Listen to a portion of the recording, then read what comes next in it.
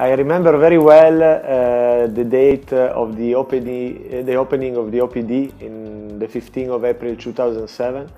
Um, we started that, that, day to see patient uh, and um, my role at the time was uh, the one of the only doctor in OPD. So no choice for the patient. They were obliged to see me and, um, and this was a great honor because I will keep uh, uh this um, uh, souvenir in my heart uh, forever.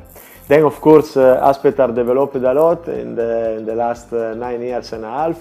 And um, with it uh, also my role uh, developed and changed. But uh, I'm still um, I'm a sport physician and I'm still seeing patients in OPD of course now is more uh, work in, in, an, in an equipe um, and so everything is uh, uh, went toward excellency.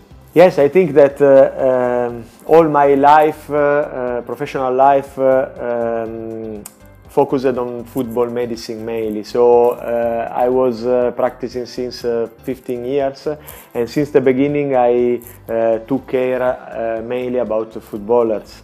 Um, foot, this because football is my passion so I try to make it uh, as, a, uh, as a job and since I was not uh, enough strong to become a football player and since I loved medicine I thought that this was the best way. My best achievement in my medical career I think um, it was uh, being part uh, of uh, the project of Aspetar since the opening day.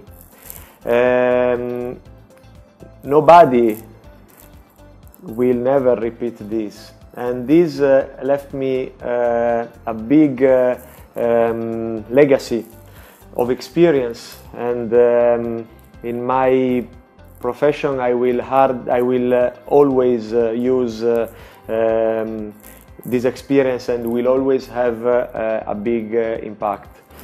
Um, when you say beyond, beyond, so when I think about my life, I think uh, that the best achievement was uh, to have uh, the courage to leave a, a, very nice country like uh, Italy, to come to Qatar when um, still uh, uh, we were not sure ab about what this small country was going to become.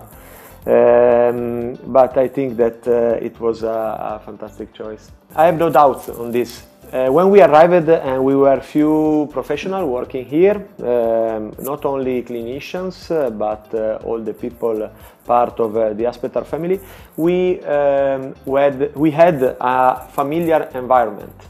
And um, for all of us, uh, Aspetar was the place of work, uh, of course, but was also something new and we felt part of it.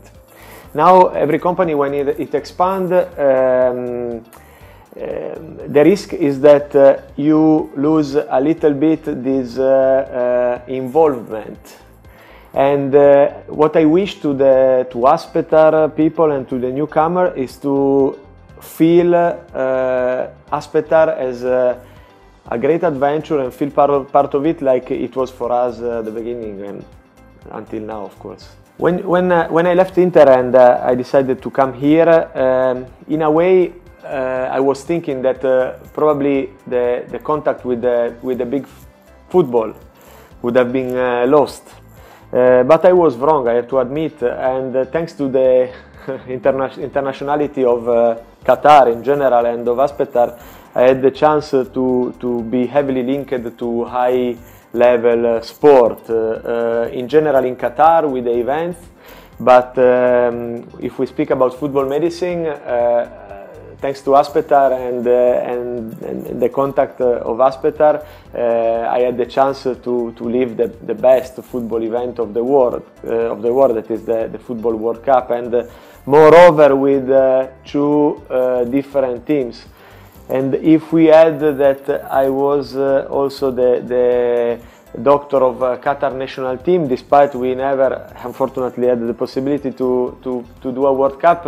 Um, the legacy that I will bring uh, with me forever is to have to have had the possibility to be the team doctor of three different national teams. So uh, huge experiences uh, uh and um, uh, so uh, even a surprise um, comparing for comparing to what we were expecting at the beginning.